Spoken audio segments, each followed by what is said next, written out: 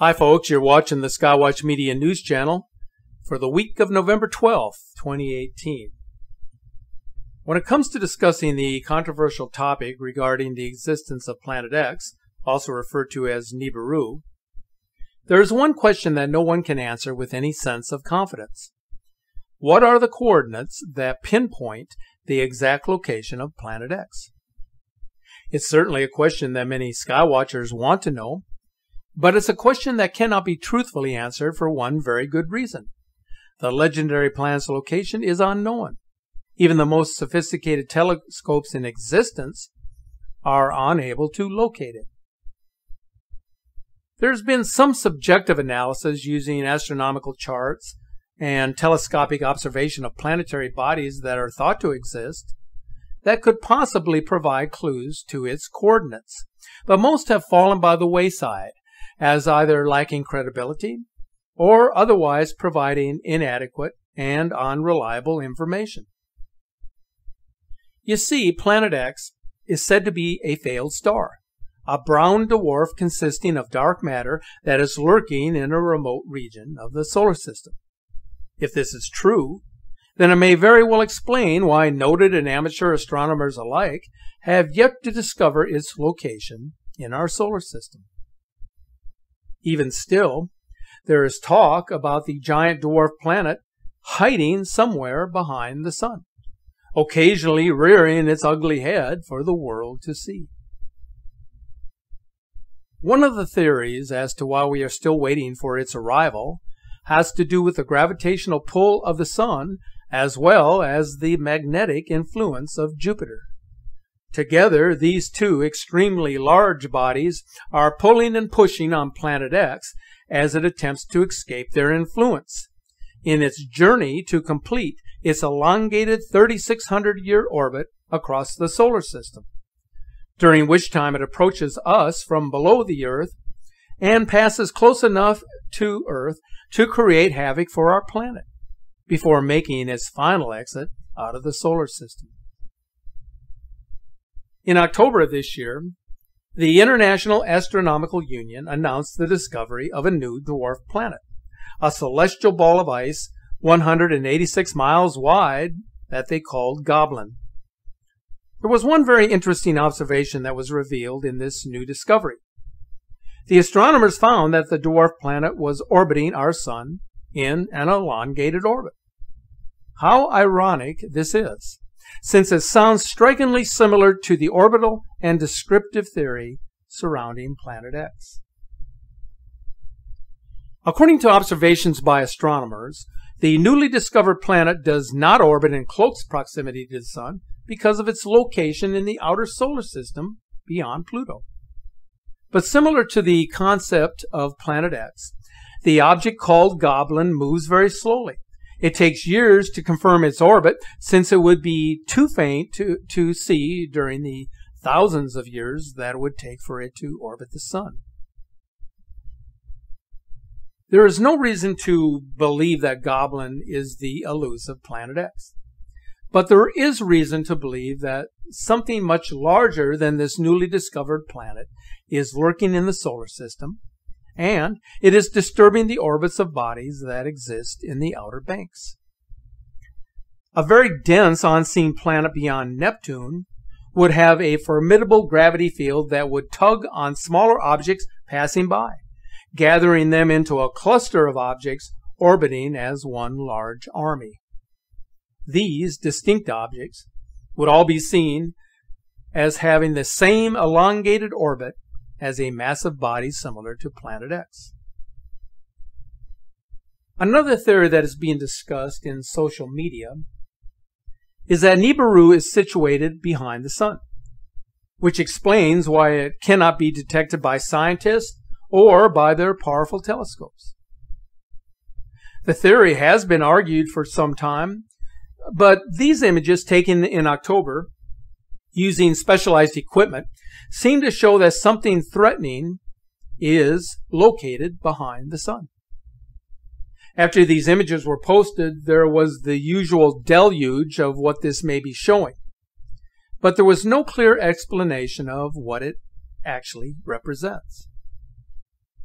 Judging from the recent behavior of NASA experts, it's becoming imperative to be fearful of any abnormal change happening in the sky because of the lack of explanations from top scientists, and most notably because of the adamant and consistent dismissal of any objects that may be coming our way. If there is any ounce of truth surrounding its existence, it will be kept under wraps it will be hidden in the clouds of chemtrails, and its investigation will be shut down until which time it becomes undeniably apparent. Then there is the constant prognostications from religious figures who preach across the internet that Planet X represents the biblical sign of the apocalypse. It is the Death Star that will bring about the end of life on Earth. The problem with prophesying the end of time is that there is no time frame for when the world as we know it will cease to exist. And any interjection by mortal men to pretend when the time will come is nothing more than self-serving.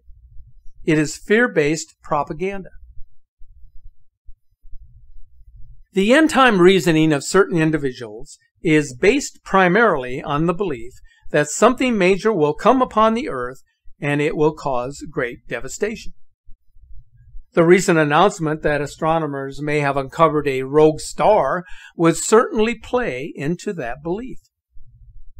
In their view, such proclamations provide a security blanket to the space scientists as they move in subtle ways to disclose the existence of Planet X. The astronomers provide further hints that are posed as theories describing a wandering star that cruised past our Earth 70,000 years ago, thereby suggesting that a red dwarf planet was visible in the sky in the evening hours during the prehistoric era. The celestial encounter was compounded by the erratic and bizarre orbital movements of distant objects moving around the sun. So, in essence, it would be the perturbation of orbital bodies that are located in our solar system. Another of these theories suggests the presence of a red dwarf star located 20 light years away that could have passed Earth hundreds of centuries ago. So, what exactly are scientists referring to here? It looks like their theories would fall into the category of soft disclosure. They describe something that is occurring in the dark reaches of our solar system using labels like Planet 9, Dwarf Planet, and the Goblin. For all the talk about whether a giant planet or a system of planets exists in our solar system or just beyond the solar system, we should continue to acknowledge that there is way too much to learn about the vastness of our universe and our comprehension of its infinity. What the world is being told is not necessarily the truth, and everything that we know or pretend to know should be considered with a grain of salt. The facts will, in the end, speak louder than the mere words of mortal men. Although the concept of a rogue system of planets has yet to unravel the mystery of what may be lurking in our solar system, there is evidence coming from our atmosphere that something unexplained and extremely unusual is happening. A bizarre purple glow is increasingly illuminating the sky, but the reason for the strange sky phenomena remains unclear. Across North America and throughout much of the world, the baffling sky phenomena continues.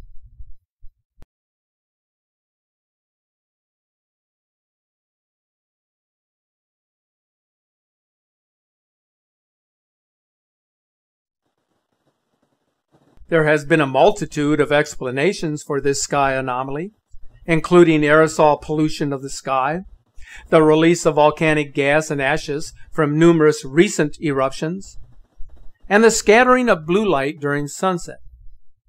But it is all speculation, and no one can say for sure what is happening. What I can say in my many years of personal observation is that the purple sky or purple rain phenomena is a fairly new and undetermined atmospheric anomaly.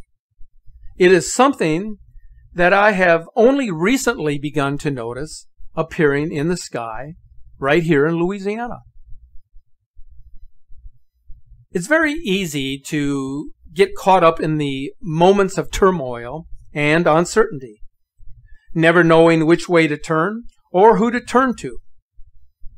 But if you take time to consider or reflect upon the chaotic events unfolding in our lifetime and what it may represent in the grand scheme of our existence and our time on earth, try to make an effort to catch yourself in a moment of quiet solitude.